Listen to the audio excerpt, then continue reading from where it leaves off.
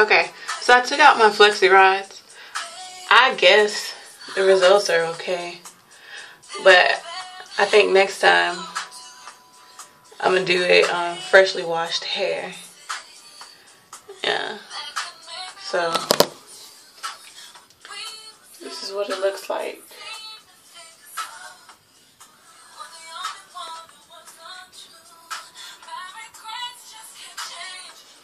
Okay. And so what I did when I took the rods out to separate the curls,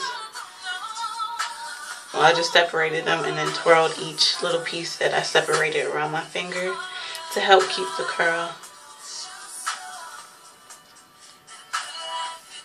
I think I'm gonna have to buy like some smaller ones or yeah I'm gonna buy more of the blue ones and the red ones because these thicker ones like the orange one and the gray one like they didn't put that much of a curl in my hair at all.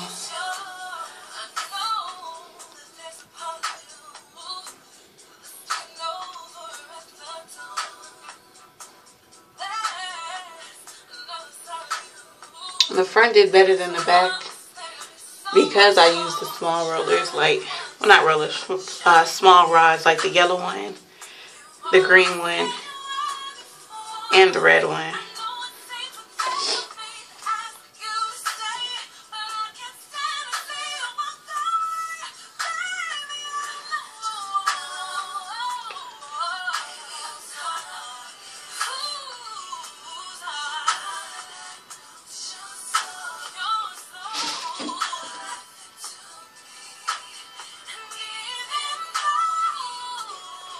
I think flexi rods, they just take a little bit of practice too.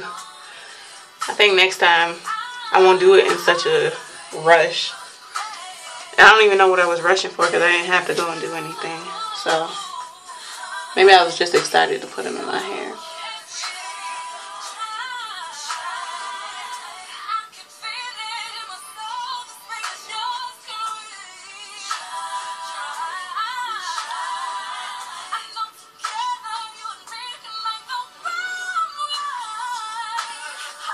Okay, so I'm to finish separating and then come back with the final results.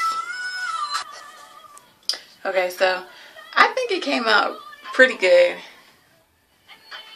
I just had to separate it.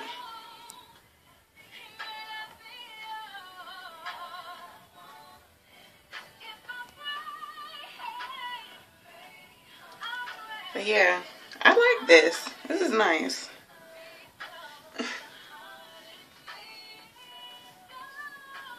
I did have some spots where like the hair really didn't take to the roller, well rod.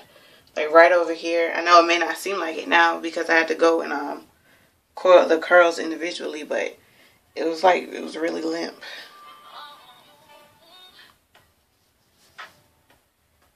But yeah.